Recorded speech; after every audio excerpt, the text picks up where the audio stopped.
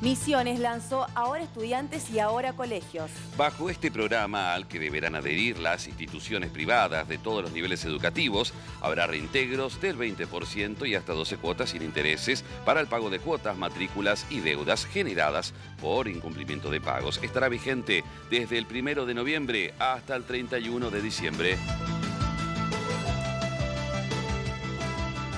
Lanzaron el programa Black Friday en Apóstoles. Ofrecerá beneficios y descuentos a los consumidores, en esta ocasión con una particularidad. En muchos casos, los locales van a ofrecer compras en forma online para evitar las aglomeraciones. Funciona del 2 al 8 de noviembre con beneficios de tarjetas de crédito del 5 al 7 de noviembre.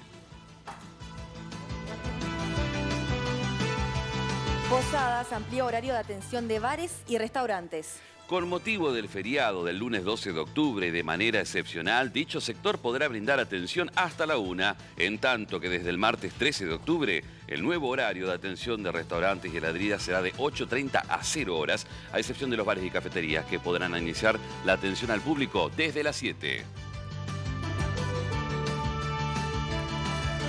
Hoy llega el ministro Meoni a Misiones. El funcionario estará en Posadas, donde será recibido por el gobernador, con quien firmará un convenio para poner en marcha el puerto de esta ciudad y dejará inaugurado el flamante tren que conectará a la capital misionera con Garupá.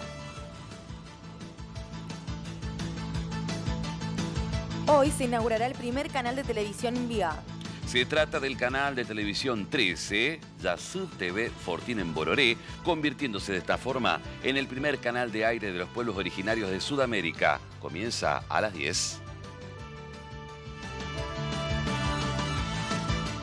Aprueban las salas de elaboración de derivados de lácteos. La legislatura avanzó en la sesión de ayer con el proyecto que instituye el marco regulatorio de las salas de elaboración de derivados lácteos para agricultores familiares.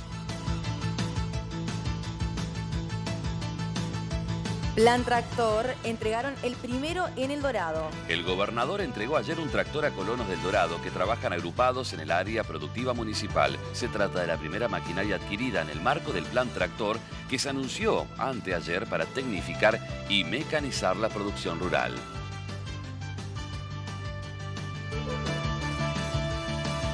Nación anunció nuevas medidas económicas. Anunciaron modificaciones en políticas macromonetarias, medidas vinculadas al sector agroindustrial, avances de la ley para el desarrollo agroindustrial argentino, lanzamiento de planes exportadores y planes destinados a aumentar la producción nacional con ahorro de divisas.